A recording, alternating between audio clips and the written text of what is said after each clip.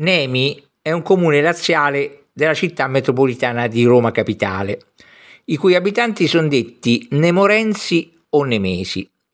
Posizionato quasi al centro dei Colli Albani, a 521 metri sul livello del mare, Nemi è il secondo comune più piccolo dell'area dei Castelli Romani, dopo Colonna, noto per la coltivazione delle fragole e per la relativa sagra, che si svolge ogni anno la prima domenica di giugno. Secondo la leggenda, le fragoline di Bosco Nemesi nacquero dalle lacrime versate da Venere per la morte di Adone, poi trasformate in cuori rossi. Pare che queste fragole avessero dei poteri, come quello di allontanare i serpenti presenti nei boschi.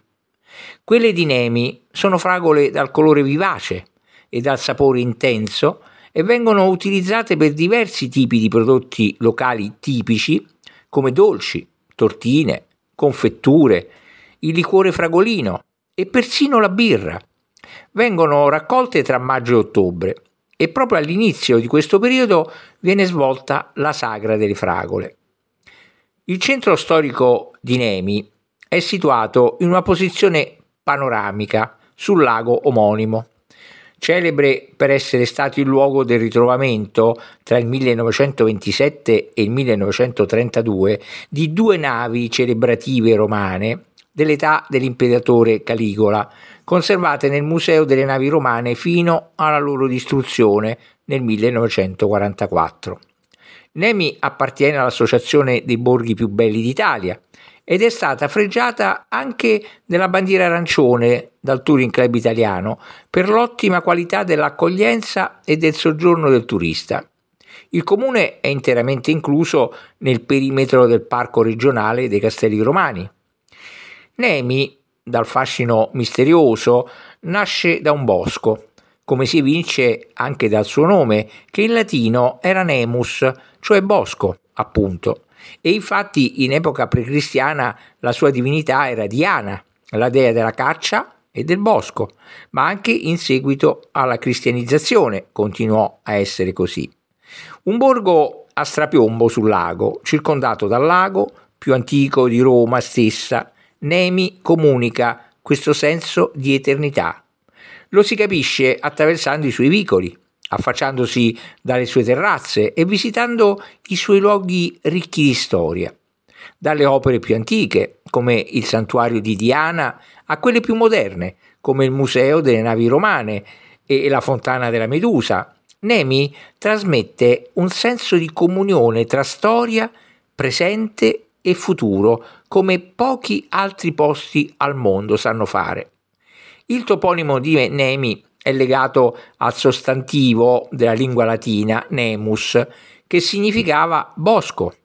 Con questa semplice denominazione, spesso accompagnata da aggettivi o complementi di specificazioni, quali nemus diane, nemus aricinum, nemus artemisium e cinzie fanum, era infatti conosciuto il tempio di Diana, che sorgeva sulle sponde del lago di Nemi.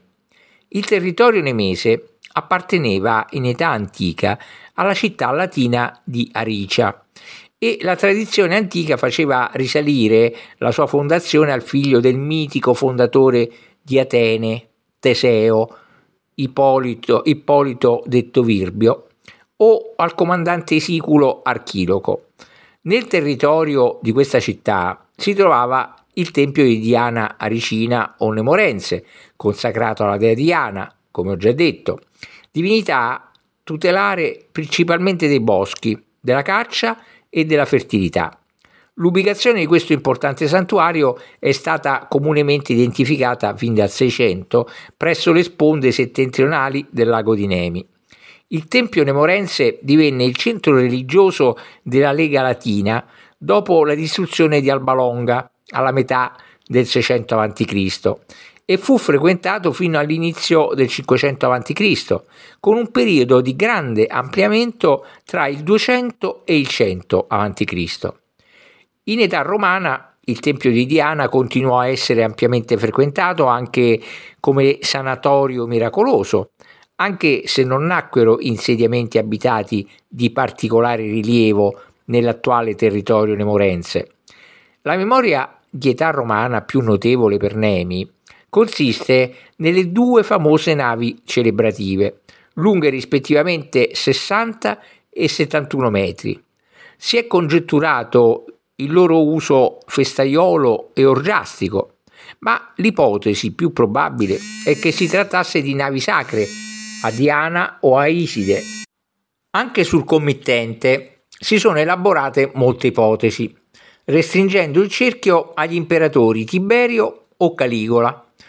Tentativi di recuperare le due navi furono eseguiti a più riprese, a partire dal 400, e a un certo punto si arrivò a ipotizzare l'esistenza di ben tre navi. Solo tra il 1929 e il 1932 venne messa in piedi un'imponente spedizione archeologica che, grazie allo svuotamento delle acque del lago, per ben 22 metri di profondità, riuscì a tirare a riva le due navi, custodendole poi nell'apposito museo delle navi romane. Tuttavia, durante la Seconda Guerra Mondiale, nella notte tra il 31 maggio e il 1 giugno 1944, il museo e le due navi andarono a fuoco, pare per un incendio appiccato da alcuni soldati tedeschi in ritirata. Quindi oggi nel museo sono custoditi solo dei modellini in scala. Nel Liber Pontificalis risulta una massa Nemus, donata dall'imperatore Costantino I tra il 306 e il 337 d.C. alla cattedrale di San Pancrazio in Albano Laziale sotto il pontificato di Papa Silvestro I. All'epoca dunque Nemi, non risultava abitata o comunque non aveva unità di paese, poiché per massa nel Medioevo si intendeva un podere o un, o un insieme più o meno unitariamente organizzato di poderi appartenenti a un signore feudale, ad un monastero, ad una chiesa o ad altra istituzione ecclesiastica o comunque a un magnate o al limite una tenuta con al più qualche casupola di contadini. Il paese cominciò a esistere solo quando fu edificato il castello, attorno all'800 d.C., quando la potente famiglia dei conti di Tuscolo, molto probabilmente, si impadronì della comunità agricola residente nella Valle del Lago, come già controllava gran parte dell'agro romano e dei colli albani. Fu così che i nuovi padroni fortificarono la zona più elevata, posizione forte e selvaggia che dominava tutto il lago ed era inattaccabile da tre lati, dando origine a quello che nei testi dell'epoca viene definito più volte Castrum Nemoris, cioè letteralmente la cittadella del bosco. La popolazione di contadini e pescatori che viveva sparsa nella valle del lago trovò più sicuro avvicinarsi al fortilizio tuscolano e costruì la parte più antica di Nemi, quella che oggi è detta Pullarella. Poi, con la decadenza dei conti di Tuscolo, nella signoria di Nemi e di altri castelli dei Colli Albani subentrarono nel 1090 i Frangipane. Tuttavia, già nel 1153 Papa Anastasio IV concesse il castello ai monaci cistercensi dell'abbazia delle Tre Fontane sulla via Laurentina. Successivamente anche Papa Lucio III nel 1183 confermò ai cistercensi il possesso del castello di Nemi con le sue dipendenze e il lago. Probabilmente il bisogno di confermare la donazione fu determinato da una controversia giudiziaria sorta tra l'abbazia delle Tre Fontane e i tre fratelli Pietro, Nicola e Angelo Gandolfi, che avanzavano pretese su una torre edificata dalla loro famiglia in territorio nemese presso l'attuale Genzano di Roma. La controversia si risolse nel 1218 con la rinuncia da parte dei Gandolfi a ogni pretesa sulla torre. I monaci cistercensi in considerazione della pessima posizione geografica e climatica in cui si trovava l'abbazia delle Tre Fontane, situata al centro di una vallata malarica, ottennero fin dal 1225 la possibilità di trasferirsi in estate nel loro più salubre feudo di Nemi e presso il convento di Santa Maria ad Nives di Palazzolo sul lago Albano, loro dipendenza dal 1237. Durante lo scisma d'Occidente, tra il 1378 e il 1417, l'antipapa Clemente VII, in cerca di appoggi militari per scalzare il suo rivale Papa Urbano VI, concesse a Giordano Orsini, feudatario di Marino, la signoria di Nemi e altri castelli e casali dell'agro romano. Tuttavia, Giordano Orsini poté prendere possesso di Nemi e degli altri possedimenti solo dopo la battaglia di Marino del 30 aprile 1379, in cui la vittoria arrise all'esercito pontificio con la conseguente fuga dell'antipapa ad Avignone. All'inizio del 400, in considerazione dei servizi resigli come capitano di Ventura nella crociata contro i Caetani e i Colonna, indetta nel 1399, Papa Bonifacio IX concesse Nemi e altri feudi a Tebaldo Annibaldi, feudi che gli furono tolti dopo la morte del Papa nel 1405, ma che i suoi eredi riuscirono a riacquistare in forza di una bolla pontificia dell'antipapa Giovanni XXIII del 1411.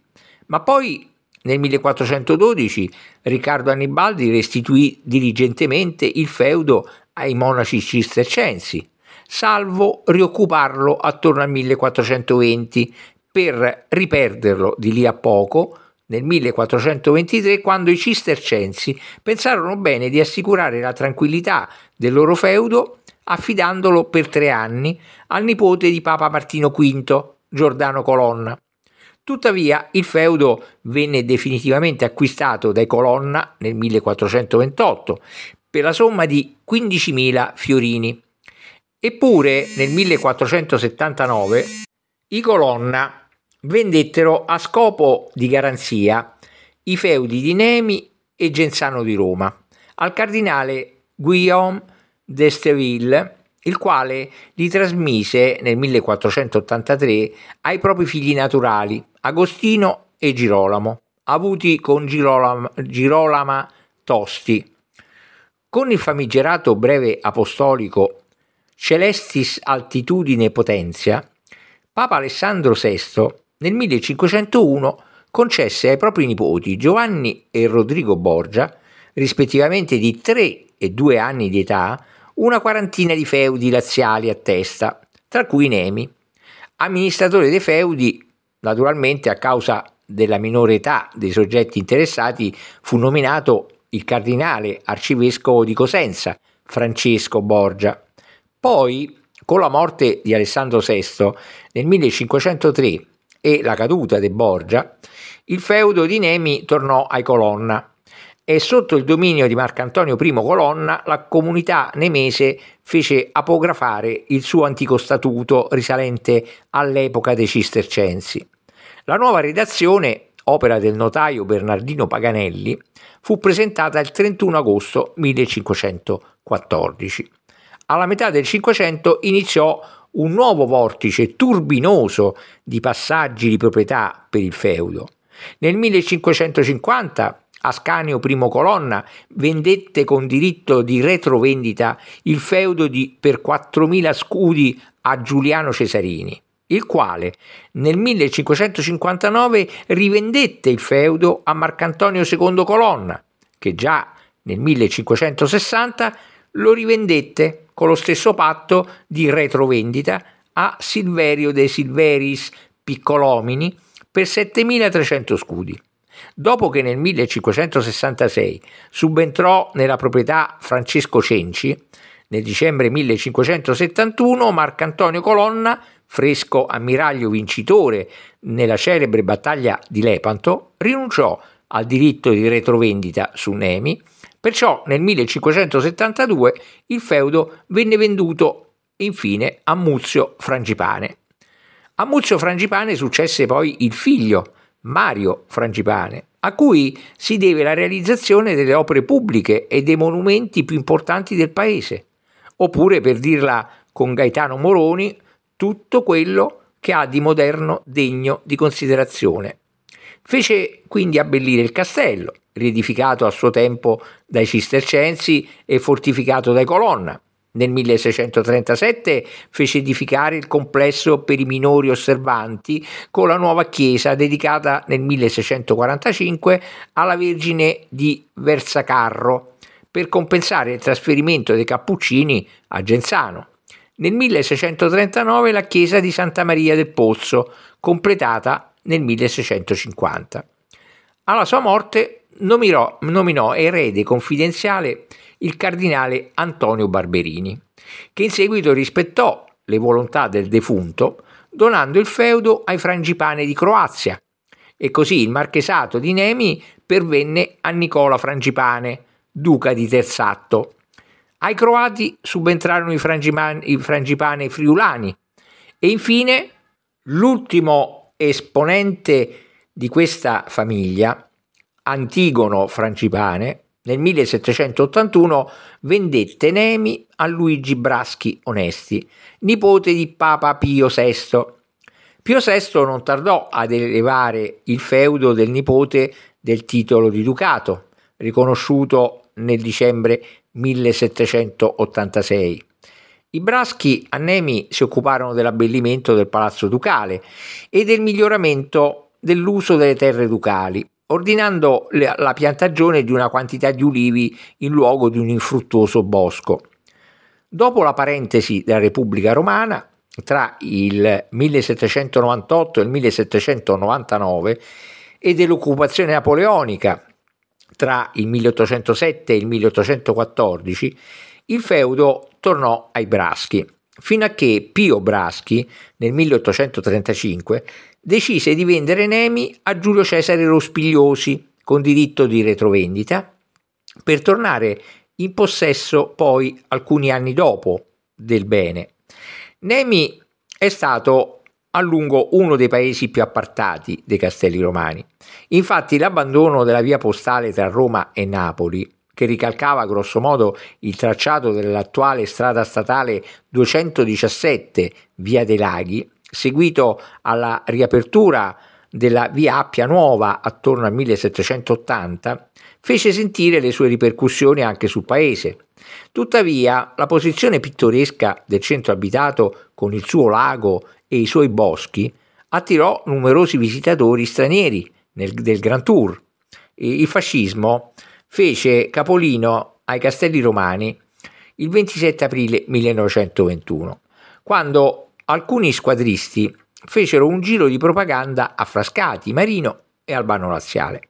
Ma a Nemi i fascisti non ebbero vita facile, avversati dal Partito Popolare Italiano. Nel luglio 1923 bande squadriste fecero un'incursione contro i popolari nemesi, gridando fuori i popolari, morte al Papa. E nel marzo 1924 si arrivò addirittura all'arresto del parroco e di alcuni esponenti cattolici da parte degli squadristi, immediatamente smentito dopo le proteste dell'osservatore romano. Tuttavia, il fascismo locale non decollò fino all'inizio del 1925, a causa delle divisioni interne persistenti tra i fascisti nemesi, che del resto provenivano da diversi partiti. Nel 1924 dei 21 iscritti al fascio a Nemi, infatti, 12 erano ex socialisti, 4 ex comunisti, 3 ex popolari e 1 ex repubblicano, oltre a un ex anarchico.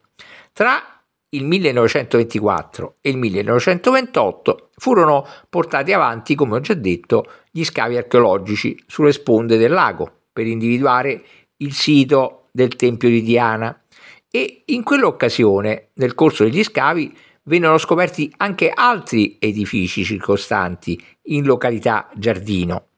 Inoltre, tra il 1927 e il 1932 furono portate a termine le operazioni di recupero delle due celebri navi romane affondate nel lago di Nemi, ospitate poi nel Museo delle Navi Romane appositamente costruito.